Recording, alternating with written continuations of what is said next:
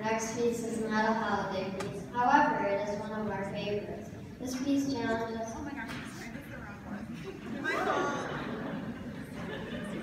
The second piece you will hear from us tonight is called Engineers Airs and The piece uses modal